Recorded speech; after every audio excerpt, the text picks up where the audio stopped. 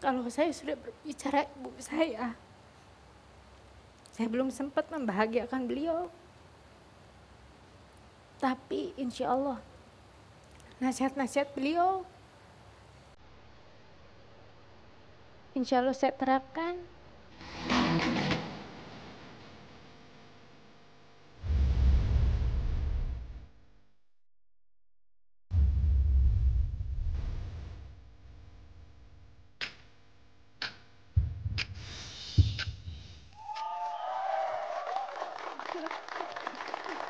Selamat malam teman-teman. Tahu nggak alat ini apa? Ayo, ayo, skipping. Oke, skipping ya. Biasanya pakai skipping siapa sih? Atlet. Ini malam ini tamu kita bukan atlet. Dia biasa pakai skipping 500 kali. Serius, mau mau tahu nanti kita tanya orangnya. Tapi dia bukan atlet, dia adalah seorang penyanyi yang em, terkenal tahun-tahun 80-an. Mbak Nia Daniati. Halo Indi. Apa kabar? Baik, Mbak apa Nia? kabar? Hmm, teh bener teh dulu pakai ginian. Iya kok pegang-pegang skipping. Iya iya, dulu mau mau coba lagi. Dulu 500 kali ya teh. Kok tahu sih? dulu saya main, tapi eh, zaman dulu belum kayak gini. Eh, dulu pakai Pakai karet, Karet. kan karet, terus eh, ibu saya nyiapin. Mhm. Dan tiap pagi jam 5 atau jam 6 saya harus main sam- eh, 500 kali tidak boleh berhenti. 500 kali tujuannya buat apa? Itu sampai 500 Buat kali begitu. pernafasan. Sore juga Oh. gitu. Nanti sore jam 4 saya harus main tali. Jadi sehari seribu. Ya. Wow, nggak ada yang kuat pasti nih. Teh, maksudnya Mau coba? Boleh dong. Mau. Tapi apa-apa, sekarang di, di, dilepas, dilepas, dilepas ya. dilepas. Aduh kelihatan pendeknya deh. Nggak apa-apa lah ya. yang penting cantik. Oke. Nih, sini ya. Ya, iya, iya.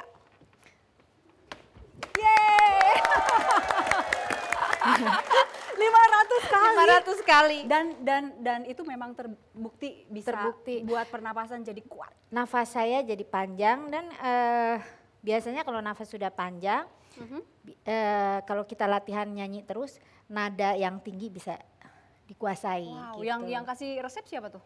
Eh, ada pelatih saya Ya udah. dulu. Nanti ya, ini kita lihat dulu nih untuk mengingatkan kepada pemirsa. Ini Mbak Nia Nadia Nia Daniati. Nanti ya kumaha tuh? Kumaha. Kumaha. ya udah, nanti ini ada eh, profilnya Mbak Nia Daniati di eh, video berikut ini.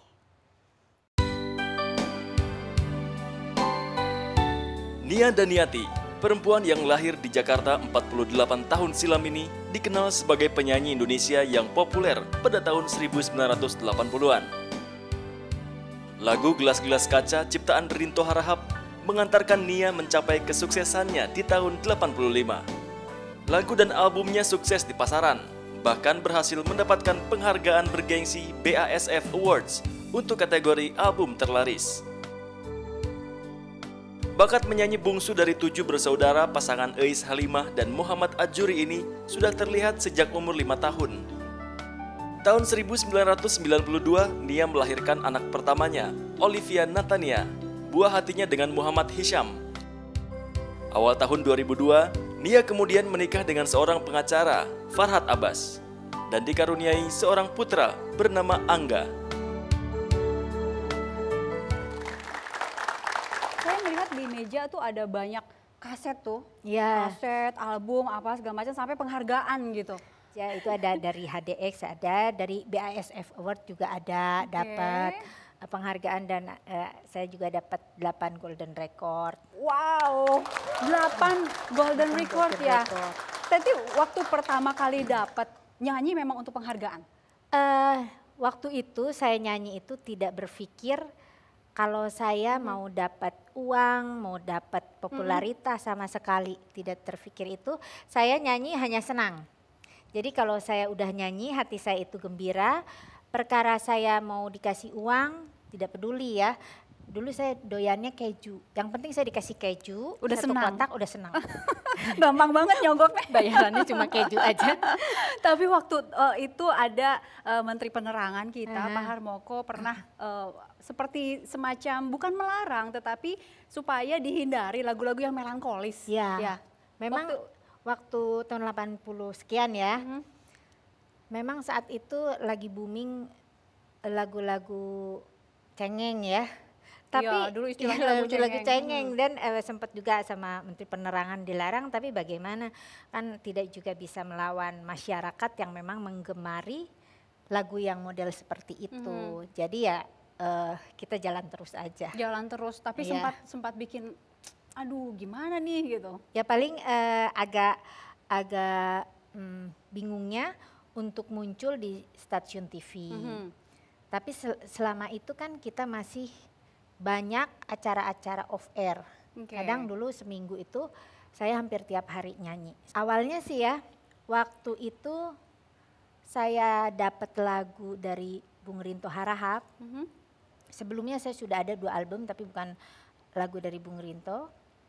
Itu saya agak-agak grogi juga karena beliau kan lagi eh top-topnya saat itu. Pencipta lagu terlaris. Saya dapat lagu, saya bingung satu hari saya bingung masuk studio, bingung aduh harus bagaimana. Tapi karena beliau juga eh orangnya sabar, memberikan eh apa memberi apa ya eh, wejangan ke saya soal lagu itu bagaimana dan bagaimana akhirnya lagu itu alhamdulillah bisa sukses. oke ini ada seseorang yang ingin menyapa mbak Nia Mhm. yang malam ini ya kita ke sana ke layar nah Bang, apa kabar? Halo, Bi, apa kabar? Baik, Bang. Eh, Selamat ya. Saya ke sana belum bisa dari sini aja. Oh iya iya iya. kapan terakhir ketemu? Eh, saya terakhir ketemu ada eh, sama Bang Rinto itu di salah satu stasiun TV Mhm. eh, yang eh, ke- kebetulan artis-artisnya beliau yang dihadirkan Hmm, gitu. ngobrol silahkan teh ngobrol apa aja terserah Bang, Nah, kapan mau apa- kapan mau bikinin lagu lagi buat saya? Mudah-mudahan Eh. Abang sehat. kalau sudah dapat lagunya, saya kasih sama sekarang lagi kantor-kantor itu. Bang, terima kasih ya Abang sudah bisa hadir, bisa komunikasi dengan saya. Saya sebetulnya rindu sama Abang ini. Cuma Eh. waktunya saya punya anak-anak, juga dengan Mbak Lili. Rindu sekali. Apalagi bisa nyanyi sama-sama lagi. Iya deh. Terima kasih. Bang Rinto saya ikut nimbrung ya Bang. Apa kabar Abang? Baik, ini tadi em, Mbak Nia bertanya kapan mau buatkan lagu lagi? Eh, kapan, kapan lagi saya kasih tahu nanti ya. Akan kasih tahu. Oh iya, bener ya Bang ya, ditunggu sip pokoknya. siap teh, siap nyanyi lagi. Oh, pokoknya dari berapa puluh tahun saya udah nggak nyanyi lagu Bang Rinto. Saya Iya. kangen, rindu banget bisa nyanyi sama-sama lagi, apalagi bisa ngumpul-ngumpul dengan Bang Rinto dan keluarga, juga teman-teman artis lainnya yang di bawah naungan Bang Rinto lagu-lagunya. Oke. Betul.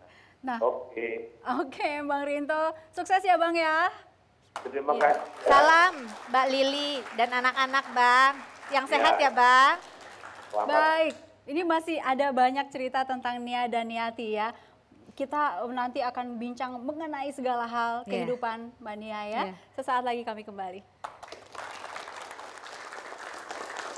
Aduh mama, Itu rengkingan yang tadi.